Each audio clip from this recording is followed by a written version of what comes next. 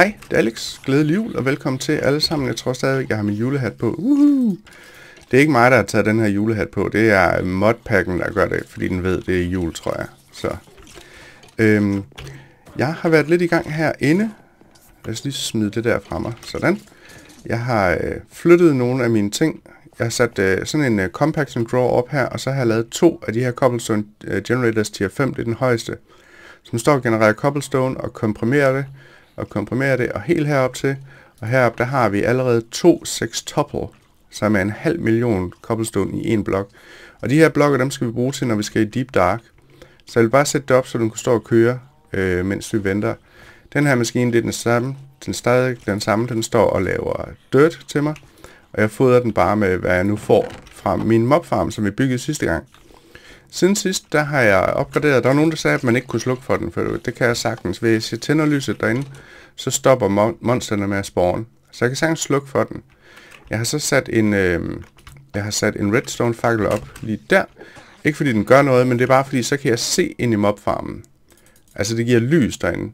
Og så har vi sat diamond spikes op hernede. Det gør, at når monsterne de falder ned og dør, så dropper de player kill drops. Øh, og det vil sige, at når jeg slår en mob ihjel, så er der en chance for at få en loot bag, fordi det er mig som spiller, der slår monster ihjel. Og Diamond Spikes gør, at øh, det, det gør simpelthen det samme. Lad os lige tage den her af, fordi den forsøger hele tiden at, øh, at give mig alle de her items der, så den dropper derinde. Herom bagved har jeg så lavet en, øh, jeg har lavet sådan noget, der hedder en absorption hopper, den er her, og den kigger, øh, den samler items op i et område rundt om den og den kan samle dem op igennem blokke. Items de ryger sig ind i selve den her absorption hopper, den har et inventory hernede. Og så siger jeg, at nord skal den putte items, og nord det er den her vej. Det vil sige, at den putter items ind i den drawer controller, jeg har lige her. Jeg siger også til den, at ned, der skal den putte fluid. Så i den her tank her, der har jeg masser og masser af XP. Og det er ikke, jeg får ikke XP ved hjælp af de der spikes, det er kun hvis jeg selv slår dem hjælp. Og det vil sige, når jeg forsøger at level min øh, shuriken op, så dropper der XP, og de rører sig i den her tynde her. Herom bagved har jeg så øh, forbundet den her draw controller ved hjælp af de her trim blokke, som ikke kan indeholde items, men de kan forbinde de her basic drawers eller andre drawers med controlleren, uden at items ryger i dem. Det er rigtig smart, det er en virkelig fed blok.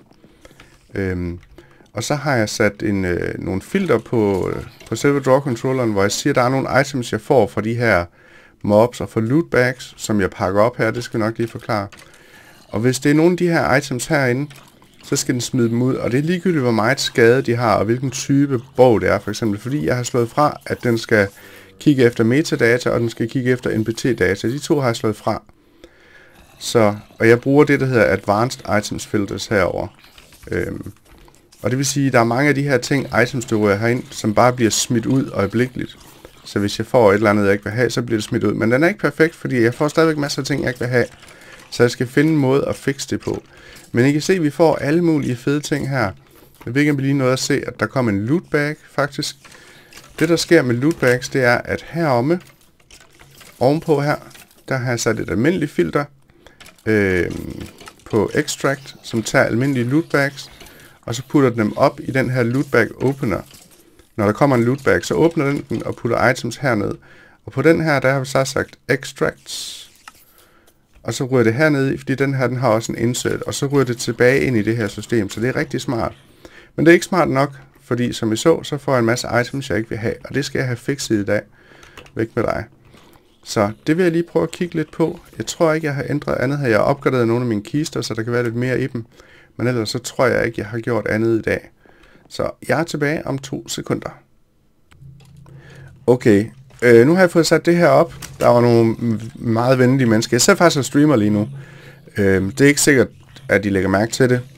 Det kan være, at der er nogen, der, har, der sidder og kigger med på streamen, der kan skrive hej i videoen. Men der er nogen, der foreslår, at jeg putter noget, der hedder Controller Slaves op her på hjørnerne, hvor jeg har det her trim. Og så kan jeg lave samme trick her, hvor jeg putter et advanced filter i, og så kan jeg tage ting ud. Så nu har jeg vist stort set fået ryddet op i det. Der er nogle få ting, jeg stadigvæk får, som jeg ikke vil have, men ellers så har jeg fået ryddet op i det meste. Og så er der nogle duplicates her. Se, der er faktisk min guldhjelm, der vi skal have smidt væk. Men ellers så har jeg fået ryddet op i det meste, og det er rigtig fedt. Så tusind tak til vedkommende for den. Så vil jeg slå en Wither Boss ihjel nu, så vi kan komme til en anden dimension. Og man kan lave noget, der hedder Wither Proof Blocks her. Og der findes en udgave af dem fra den her passwords, øh, password things, hvor du kan lave de her øh, weatherproof blocks. Det kan du enten gøre ved at hælde dem ud af smeltery, eller hvis du har de her ingots, som jeg har masser af, så kan du putte dem ind i den her maskine, der hedder en compressor. Tror jeg. Og så kan den... Okay, den er pænt langsom. Okay, det kommer til at tage hele dagen, det der. Prøv lige at vente. Kan vi ikke... Fordi jeg, har, jeg smelter det herinde. Jeg kan da bare hælde på det. Steg, stop. Hvor mange har vi derinde nu? Vi har to ingots. Øhm, vi kan lige smide noget af det der ind i. Jeg får det nemlig fra min mobfarm her, og jeg får uhyggeligt meget af det, og det er rigtig fedt, det her. Det der, raw carbon, det er rigtig cool. Så kan vi nemlig bare hælde ud i den her i stedet for. Jeg vidste ikke, det ville gå så langsomt i den anden maskine der. Lad os se. Raw carbon ud med dig, og så kan vi hælde det ud i den her. Og så får vi nemlig de her weatherproof blocks. Det er rigtig cool. Og med dem kan vi så lave et område, hvor vi kan slå en wither boss ihjel. Jeg har nemlig været nede i Nether og slå nogle øh, wither skeletons ihjel for at få øh, drop Up evil til min mob farm. Og bonus var så, at vi fik de her wither skeleton tingeling. Jeg kan faktisk ikke huske, om der er en mod quest. En quest, og jeg har lavet det her storage ting her. Den kan vi tage. Done. Nej, jeg glemte at trykke på den her over. Man skal trykke på alle knapperne, ellers så dur det ikke. Hvad med herinde? Vi har ikke været i gang med det endnu. Jeg har lavet noget pulsating alloy, det skulle jeg bruge til et eller andet. Så har jeg lavet dark alloy, det skulle jeg også bruge. Eller så har jeg bare lavet det for at complete nogle quest. Jeg har lavet en slice and splice. De har stadig slice forkert, godt nok det er med set, men øh, jeg tror ikke, det er henvist til mig. Hvad mangler vi at lave her? Redstone alloy, enchantment pedestal, der er mange ting, vi mangler endnu, det er okay. Øh, og det her, det gider vi ikke. Oh, hvad har vi lavet her? Energize smelter. Woohoo! Og en crusher. Jeg har lavet nogle maskiner her. Og en enrichment chamber. Dem skal jeg lige vise jer faktisk. Og jeg har lavet nogle af de her circuits level 2. Har vi ikke gjort det her engang før? Jeg føler, det var circuits level 1. Nå, okay. Men det jeg har lavet, det er herover. Der har jeg lavet øh, de her factories her. Og når du putter noget ind i her, der skal øh, enriches i det her tilfælde, der kan du tage øh, ores. Hvis jeg finder en, øh, en, jern, en jernore, hvis jeg miner den ned i nether for eksempel, så kan jeg putte den ind i her. Så bliver den lavet om til pulver, hvor den fordobler det. Og så putter den her maskine så ned i den maskine, der er hernede, som er en smelting factory. Og den kan smelte fem ting på én gang. Øh, og så putter den det ned her. Det er rigtig fede, de der maskiner. En crusher skulle jeg bruge til et eller andet, jeg ikke kan huske. Der er min slice and splice, jeg bruger til at lave de der filter derovre. Øh, lad os prøve at se, hvad vi får her, mens vi venter på øh, Resonant Upgrade Kit. Jeg ved ikke, om det er godt. Det er der måske nogen, der kan fortælle mig. Øh, compressed Nether Star Block. What? Kan jeg pakke den ud? Vi har fået 9 Nether Stars. Oh. Det var en god, det var en god reward. Giant Comeback Chance Cubes. Det kan være, at vi åbner dem, hvis vi kan tage ind i den anden dimension i dag. Nu må vi se. Ring of, of Skrald, den, den er virkelig glad med. Uh, Skeleton Charm, den har vi allerede. Uh, Mystical Acre Fertilizer, Ting med Bobbers, det har vi også. En Sparta Charm har vi også allerede. Og flere af de her carrots som der ikke er nogen i hele verden, der ved, hvad gør. Og så har jeg fået et hjerte, som jeg ikke skal bruge, så det ryger bare derned. Farvel. Uh. Og det samme gælder den der ring der. Uh. Sådan. Lad os se, hvad den her år den har gjort. Den har lavet to weatherproof blocks. Hurra for det. Og i mellemtiden har den her over lavet en, og så kan vi det der. Okay, jeg skal lave nogle af dem her, så kommer vi tilbage. Okay, nu har jeg fået lavet nogle stykker af de her carbon blocks her. Den her maskine her, den er usædvanligt langsom. Så jeg har sat op herover, at, øh, at den hælder det her carbon ud, og så tager den automatisk ud og putter den ind i min lille kiste her, bare med nogle øh, item conduits hernede. Så så det er rigtig godt. Nå, men jeg tænker, at det vi skal prøve, det er at øh, slås mod ham her, Withergooden her. Og jeg tror, jeg vil gøre det inde i Nether. Og så håber jeg, prøv lige at vente, havde vi ikke nogle golden apples herovre i virkeligheden? Jeg mener, vi får, prøv lige at se der. Joink. Hvad giver de? De giver ikke ret meget. Giver de egentlig en effekt? Hvad giver de? Regen og absorption. Ja, det er, det er næsten ikke engang det værd. Øhm, jeg er begyndt at spise det her mad her, i stedet for glowing bread. Fordi jeg får nemlig fra den her mobfarm, der får jeg disse. Joink. øh, glowing water, og dem kan du bruge sammen med tre stykker brød, og så får du det her glowing bread, og det er voldsomt godt. Så det går jeg og spiser i stedet for. Nå, lad os lige smutte din nether herind. Og så prøve at se. Jeg har, jeg har minet en hel masse herinde. Øh, for at levele min hakke op, og fordi det er bare hyggeligt. Øh, så I kan prøve at se her. Jeg mangler godt nok night vision, men jeg har minet her, det her det er ikke en fejl. Mit nether ser sådan her ud nu. Det her det er ressourcer, jeg ikke har samlet op endnu. Øhm, jeg har bare min nether rack væk, der var her. Og nu ser, nu ser Nether så sådan her ud. Så I kan prøve at se, hvor mange ressourcer der rent faktisk er i Nether. Hvis du bare fjerner nether racken, der er hernede, bare veinminer det væk, så er der det her tilbage. Og der er bare ressourcer over det hele. Det er helt vildt. Men det jeg tænker, vi gør, det er, at vi tager op under loftet der Nether. Og jeg sidder og streamer samtidig, så min, øh, I kan se mine frames oppe i toppen. De har det ikke så godt. De, de, den brokker sig lidt. Den siger, af, af, lad være med alle mine frames. Jeg tænker, vi kan prøve at slås med ham heroppe. Der er faktisk hul ned igennem her. Uh. Øhm. Ja, det går lidt ud over mine frames, men det gør ikke noget. Vi kan prøve at sætte det op herop, og jeg mener, vi kan gøre... Hvis vi laver en platform, som han spawner på, ham vores Witherboss her. Kan jeg egentlig mine dem her? Det kan jeg godt glimrende. Så vi laver en platform, han skal stå der på. Så går vi to op, og så laver vi en ring rundt om her. Sådan. Det er så i hovedhøjde på vores wither goods, og så skal vi have et hul der. Jeg tror, det er sådan her. Jeg ved det ikke. Vi må prøve os frem. Det kan være, at det kommer til at gå forfærdeligt galt. Det kan også være, at vi vinder hele verden. Lad os lige tage den der ringe på, sådan så jeg kan samle de her op. Sådan. Jeg tror, det her det burde være nok, faktisk. Det håber jeg. Og så håber jeg, at mit svær, som gør 316 attack damage, og min øh, kaststjerner, som gør næsten 100 attack damage. Jeg håber, det er nok til at slå ham ihjel, hvis han skulle slippe ud. Så det vi gør, det er, at vi gør sådan her. Bum. Og så gør vi bum, bum, bum. Man kan nemlig godt spawn witheren, mens han ligger ned, hvis man kan sige det sådan. Og når han så spawner, så rejser han sig op, og så burde han have hovedet herinde i, og han burde ikke kunne flyve væk. Øhm, så lad os prøve... Hallo? Kan du ikke lige... Jeg kan heldigvis one-shot dem her, så de andre de bliver ikke sure, og jeg kan bare fjerne ham på den der måde. Så skal vi lige have det der væk. Så lad os prøve at se, hvad der sker. Hej. Lille spirit random thing. Kan jeg myrde dig? Jeg kan ikke myrde dig. Jeg skal have den der spirit ting. Og det er også ligegyldigt. Kan du lige gå væk? Han er totalt linselus. Og du er også ret nuttet. Nå, lad os prøve at spawn ham. Bum, bum, bum. Så håber vi på det bedste. Ønsk mig held og lykke. Så siger han bum. Og så skulle han gerne blive derinde. Håber jeg.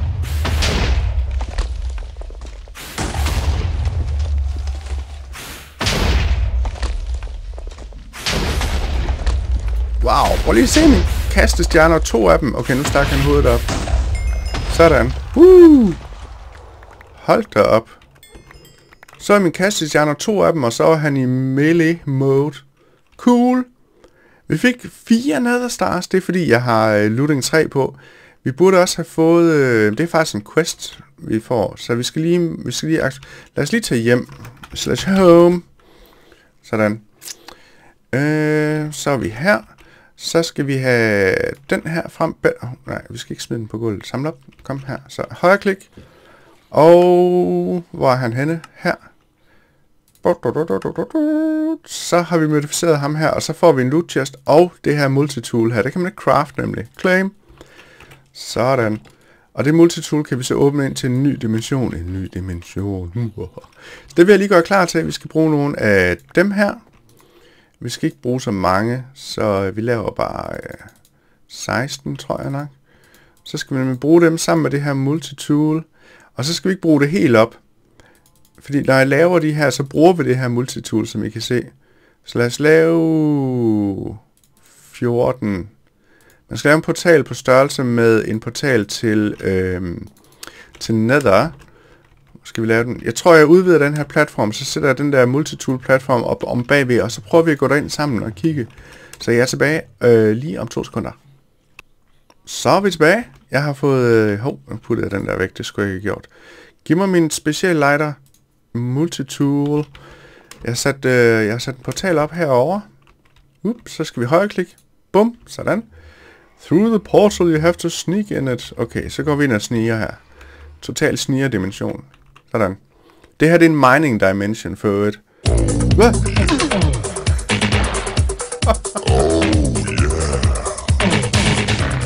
Det kommer så med i videoen. Okay, tusind tak. Der er en, der donerede. Jeg skal nok læse det op senere. Mange, mange tak for den donation.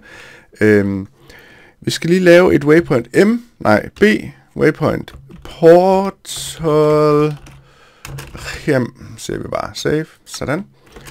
Det her, det er en, øh, en mining dimension. Der er ikke rigtig noget herinde, men der er noget, noget rigtig vigtigt, der er herinde. Uh, se nu her. Åh, oh, oh. Hvad skete der? Det der, det er en chance cube for øvrigt. Mm. How rude. Hey, det sagde den der også. Okay. Joink. Så er der sand til mig. Øhm, der er chance cubes herinde, og se om jeg kan finde et... Der er noget meget, meget, meget vigtigt herinde, som jeg vil se, om jeg kan finde. Mm, der er de der craters nemlig. Øh, meteorer, der falder ud af himlen og lander, og, øh, og du laver et crater i jorden. Fordi fra dem kan du få de der presses, du skal bruge for at lave et øh, Applied Energetics 2 setup. Jeg kan selvfølgelig ikke finde en lige nu, vi må prøve at se, om vi ikke kan finde en. Men jeg har taget noget med herind, som vi skal prøve at åbne sammen. Der er også masser af dyr herinde, så hvis I mangler dyr, så kan I tage herind. Vi kan også lave sådan en meteor compass på et tidspunkt, og der er de der øer, dem der. Så øh, lad os prøve at åbne en af dem her. Det er en giant chance cube. Boom. Er I klar? Er I klar? Oh. Når man kommer tæt på, så bliver den usynlig. Okay. Åben! Ah! Åh, oh, det er en usynlig gas. Nej. Jeg tror det var en usynlig gas. Det er bare øh, TNT en masse, åbenbart. Hmm, det var meget spændende. Fedt, tak for det. Godt, lad os prøve at åbne en mere. Vi skal ikke åbne dem alle sammen. Vi kan lige prøve et par stykker. Fik jeg den åbnet? Jeg ved ikke, om jeg fik den åbnet. Fik jeg den åbnet? Inception. What? Hvad sker der nu? Inception, hvad? Jeg ved ikke, hvad Inception... Hvad? What's happening? Den bygger et eller andet herop. Hvad er det, den bygger? Kan være, den vender rundt. Er det der, hvor den vender rundt på en chunk eller sådan noget? Ej, hvor syret. Hallo? Nu er vi oppe i toppen af verden. Jeg ved ikke, hvad den gør. Geronimo! Okay, den gør et eller andet. Øhm, en anden ting, det er, at nu har vi også adgang til uendelige mængder. Åh, oh, ja, det er så. Det er den, hvor den vender rundt. Se, nu har den åbnet ned til bunden af verden, og så vender den rundt på chunken. Så øhm, nu kan vi faktisk falde ud igennem bunden af verden hernede, fordi den har vendt op og ned på den ene chunk her i verden. Det er meget syret. Nå, vi har, fat, øh, vi har øh, adgang til uendelige mængder øh, jord nu, og sten og alt sådan noget, fordi vi kan mine det herinde. Jeg tror lige, at vi får det hjem, så vil vi lave et meteor kompas, og så vil vi se, om vi kan finde nogle af de der øh, meteors der. Det kunne være fedt. Vi ses lige om lidt. Okay, jeg skal lave en, øh, det der meteor kompas der. Meteor kompas, det ligger lige her. Boop. Og før, det, øh, før jeg kan lave det, så skal jeg lave en charged surface Quartz. Jeg har surface Quartz. Jeg har fundet nogen, og min mobfarm, den giver mig nogen. Men jeg skal charge den, og for at charge den, så skal jeg... Der er forskellige måder at gøre det på. Øhm, hvis vi kigger herinde, så kan jeg finde charge search Quartz over ude i verden. Det vil sige, at jeg kunne gå ind i vores nye mining dimension og lede efter det. Det gider jeg ikke. Så kan jeg sige sand igennem Iron Stift Meshes, og det er faktisk dem, jeg har her. Det gider jeg heller ikke. Og den sidste måde, jeg kan gøre det på, det er, at jeg kan lave en øh, charger. Uncharged Certus Quartz Crystal into the charger. Okay, så vi kan lave en charger. Jeg har sagt det så mange gange, ordet har helt mistet sin mening. Og der skal jeg bruge Pure, eller de her Flux Crystals og noget jern. Og jeg var så heldig at få Flux Crystals i en øh, pose på et tidspunkt. Så jeg har faktisk nogen.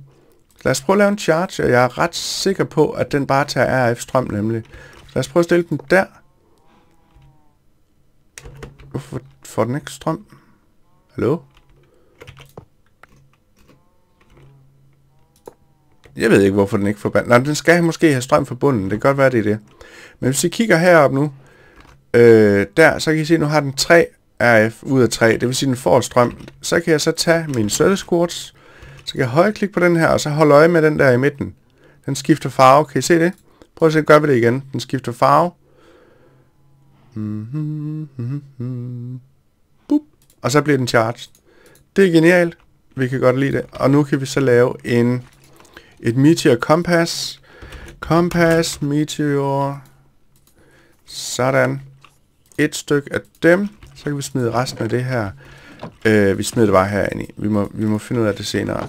Så kan vi gå tilbage ind i den her dimension. Og oh, jeg skal snikke det rigtigt. Sådan. Og så kan vi kigge. Nu snor den bare rundt. I kan se kompasset i min hjørne, i min hånd her. Hov, den peger den her vej nu. Så flyver vi bare... Nu blev den forvirret. Nej, prøv lige, prøv lige vent. Er det, når jeg er i midten af det? Jeg tror faktisk, det er, når jeg er i midten. Jeg tror, det her det betyder, at den er under jorden. Er det ikke det, det betyder? Det kan jeg ikke huske. Lad os lige prøve at grave ned, og så se, om vi kan grave ud her. Øh, jeg skal lige spise. Det her brød her, jeg spiser, det er heldigvis meget hurtigt at spise. Lad os se, om vi kan finde den hernede et eller andet sted. Jeg mener nemlig, når kompasset snurrer rundt på den her måde, så betyder det, at vi er i nærheden af det, hvis jeg husker korrekt. Det er der selvfølgelig ikke nogen sandsynlighed. Det er ikke sikkert, at jeg gør det. Der var faktisk noget mere af det her. Det var rigtig fedt. Det kan vi lige... Øh... Oh, ups. Væk. Samlede jeg... Samlede dem ikke op? Det gør jeg måske ikke. No, jeg tabte. Nå, pyt. Vi kan lede efter det senere. Øh... Hvor er den henne? Er der nogen, der kan huske, hvordan det er? Jeg kan ikke huske det. Jeg spørger, fordi jeg sidder faktisk og streamer, mens jeg optager det her, så det kan være... Au! Det er rigtigt, jeg er sulten. Jeg kan ikke huske, hvordan jeg finder den. Jeg prøver lige at se, om jeg kan finde en, øh, en meteor, og så jeg kan vise jer, hvordan man finder dem. Fordi jeg kan ikke helt huske det. Men det er der garanteret nogen i chatten, der kan. Så jeg er tilbage om et minut. Jeg kan ikke komme ud. Hjælp! Okay, det lykkedes mig at finde en. Jeg skal lige have men, øh, øh koblet ud af mit liv. Sådan, og jeg også. Så væk og væk. Sådan. Så når du har den her i hånden, og den begynder at snurre rundt, så betyder det, at den er under dig, den her, den her øh, meteor. Så hvis jeg miner det her skystone her, sådan. Oh, den, vi kunne ikke se den, men der var faktisk inde i midten af den der meteor der, jeg minede den og fik alt det her skystone, der er de her skystone chests, og inde i dem vil der være de her øh, presses. Øhm, så nu tager vi lige den her med. Bop. Og så kan vi nemlig komme ud og finde nogle flere. Og så er det sådan set bare at flyve rundt. Øhm, så nu peger den tilbage mod, hvor vi lige var. Men jeg flyver bare lidt rundt. Kan jeg lige j og se, hvor jeg har været henne? Ja, se, dernede er vores portal igen. Så jeg flyver rundt, så jeg kan finde alle de her presses. Jeg tror ikke, vi kan nå at lave det i mit system i dag, men det er godt at komme i gang. Så øhm, vi ses lige lidt. Du kan også finde dem på den her måde. Altså, hvor selve meteoren er landet på overfladen af verden. Øh, der var lige en, der, skrev, der sagde til mig i chatten, at når den her kompasset snurrer rundt, så er det fordi, du er den chunk, den er i. Det lyder rimeligt, og den kan godt være mere større end en chunk, så det lyder rimeligt nok. Lad os prøve at øh, fjerne det her igen. Mm. Og så skal vi lige passe på, fordi nu er vi under lava. Så lad os se, hvad vi har herinde. Nu har vi to af dem. Det er rigtig godt. Så kan vi lede videre nemlig. Fe mand, fe. Jeg åbnede lige en af de der almindelige chance cubes, der spawner herinde, og se hvad den droppede til mig. En chance icosahedron. Disco ball! De her, de er for rigtig, rigtig farlige. Der kan, øhm, der kan ske forfærdelige ting, når du åbner den her. Du kan simpelthen få noget, der hedder en tactical nuke, der stort set smadrer hele din verden. Derfor kunne jeg aldrig finde på at åbne den i oververden. Men vi var ikke så uheldige. Vi fik Jerry her. Jerry, han er en slime. Han er glad for os. Au, Jerry bider. Vi flyver lige. Så jeg vil bare lige vise jer, at jeg fik en, en chance icosahedron. Og så vil jeg lede videre efter øh, flere kompasser. Jeg mangler kun én press nu. Det er rigtig fedt. Vi ses. Det lykkedes! Jeg har fået øh, alle fire af de her presses. Øh, calculation, Engineering, Logic og Silicon Press. Og det betyder, at nu, den her, den sagde længe bobbe ting, øh, det må være i Energistics. Så har vi fået alle de her presses her. Så kan vi få en loot chest, og i vores loot chest får vi... Lad os se. Lad os se, hvad vi får. Drumroll, please. Øh, en Guardian charm. Okay. Nå, men det var fedt, vi fik alle tingene. Så øh, herinde kan vi gå ind og hente alle vores ting. Det er rigtig, rigtig fedt. For øvrigt, øh, sidste gang, der kom jeg til ved et uheld, og med min hakke, tror jeg det var, eller et andet, kom jeg til at shift højre klik på et inventory, som jeg lige har gjort her nu. Så shift højre klik på et inventory, så hvis din, dit tool, det har den, øh, øh, den skill, der hedder Global Traveler, se hvis vi lige lægger den her, her ind i, Boop. hvis den har den, der hedder Global Traveler, så kan du putte ting ind i den kiste, når du miner ting, eller ind i det inventory, og det kommer jeg til at gøre ved et uheld, altså at linke den, og så øh, kunne jeg ikke finde ud af at slå det fra, men der var en, der skrev til mig, at hvis jeg trykker på I, så kan jeg slå Global Traveler til eller fra. Så hvis du bare slår den fra ved at trykke på I herinde, så er det ligegyldigt, at du kommer til at linke den. Så vil tingene ikke øh, hoppe, blive teleporteret der. Oh no. Øhm, jeg skal lige rydde op. Okay, så fik jeg ryddet, ryddet mit rod op. Jeg lavede en ny kiste, og så kunne jeg få puttet alle mine ting herinde igen. Jeg kan lige tage den gamle kiste ud. Det var en epic fail, der var slet ikke meningen, at jeg skulle gøre det der. Men øh, sådan går det jo nogle gange. Og min, min toolbag her, den er ved at være totalt fyldt med useless junk. Jeg har fundet nogle grise på et tidspunkt, men nu kan jeg tage ind i den anden dimension og hente dem alt det, jeg vil. Men jeg tror sådan set, det var det for i dag. Jeg fik fat i de der... Øh, øh, I de her... Øh, øh, inscriber presses her, dem fik jeg fat i rigtig, rigtig hurtigt. Så det kan godt være, at øh, vi kan kigge på det næste gang. Vi kan ikke nå at lave øh, AE-ting i dag. Hej, du skal ikke være her. Gå væk. Øhm, det kan vi ikke nå at lave i dag. Men vi fik lavet nogle ting. Jeg fik vist noget af det her. Jeg fandt ud af, hvordan jeg kunne fikse det, så den smider mange af tingene væk. Det er rigtig, rigtig godt. Det er jeg super glad for. Så fik vi øh, slået Witheren ihjel. Vi fik... Hvordan var det nu? For at se, jeg har allerede glemt, hvordan det var, vi slog Witheren ihjel. Det er også ligegyldigt. Ja, vi gjorde vi ind i Nether, det er rigtigt kommet i tanke om. Så fik vi åbnet til den her dimension her. Og vi fik fundet de her presses, så det er, jeg synes, det er et godt fremskridt. Øh, vi kan stille os hernede foran og være juleagtige sammen. Vi kan lige tage den der af. Og så kan vi nemlig sige, fi, sige farvel for i dag. Nu er min hat lilla. Hvorfor er den lilla? Var den ikke hvid før? Jeg, jeg bliver forvirret over ting. Jeg vil stoppe. Tusind tak, fordi I kiggede med. Hvis I kan lide afsnittet, så ved I, hvad I kan gøre. Kan I have en rigtig glædelig jul, og så ses vi alle sammen næste gang. Jeg ved ikke lige, hvornår det bliver. Pas godt på jer selv. Hej hej.